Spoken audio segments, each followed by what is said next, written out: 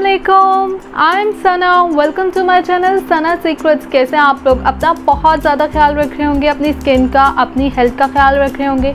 Today I am gonna share with you anti ageing face scrub मैं आज जो आपको फेस स्क्रब बताने जा रही हूँ दिस इज़ रियली पावरफुल वो इतना पावरफुल है कि वो आपके एजिंग को प्रोसेस को स्लो डाउन करेगा।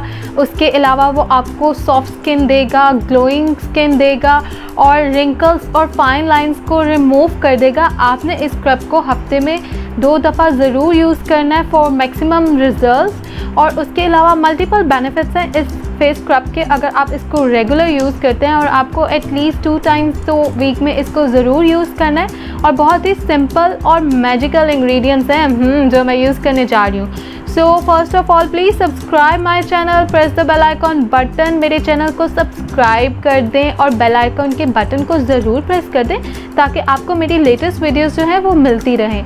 Without wasting time let's go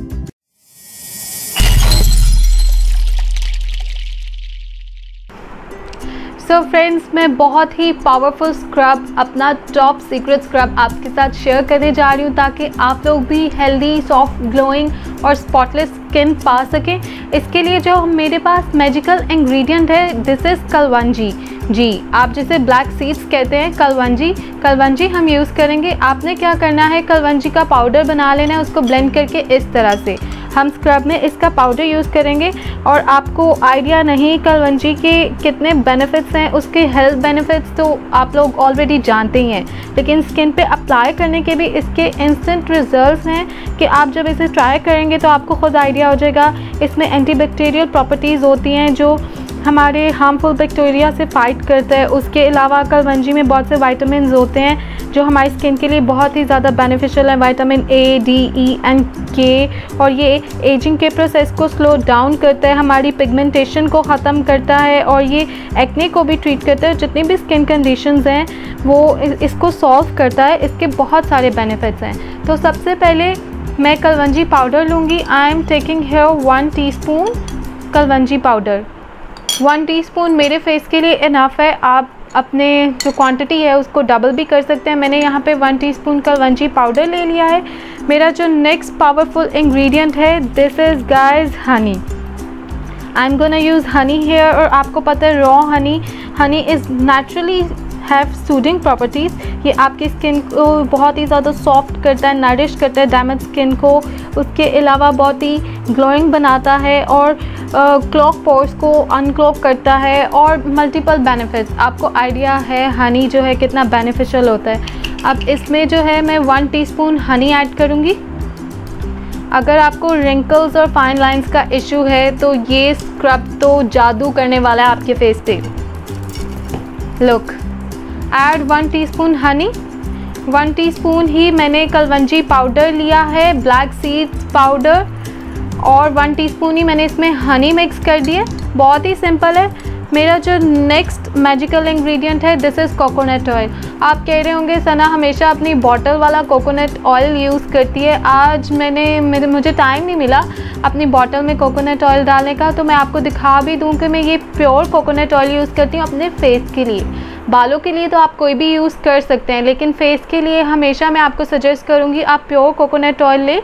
Pure coconut oil pure coconut oil ताकि आपकी स्किन के लिए जो है वो हार्मफुल ना हो और इसके बहुत ही ज़्यादा मैक्सिमम रिजल्ट्स मिलेंगे आपको बाकी दूसरे कोकोनट ऑयल की नस्बत।